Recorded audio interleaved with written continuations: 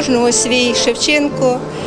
Кожного разу ми відкриваємо його по-новому. І сьогодні Шевченко на часі це е, безсмертний Шевченко, тому що він як і ніжний, і водночас е, Шевченко це могуття незламності духу. Він писав правду, через те він сьогодні актуальний. Чому він для мене особливо є людиною великою? Тому що його слова вони дали великий для нашого народу, не дали народу нашому заснути. Він пробуджує народ і веде за собою. Його слово правдиве. Через те він для мене є великим і рідним.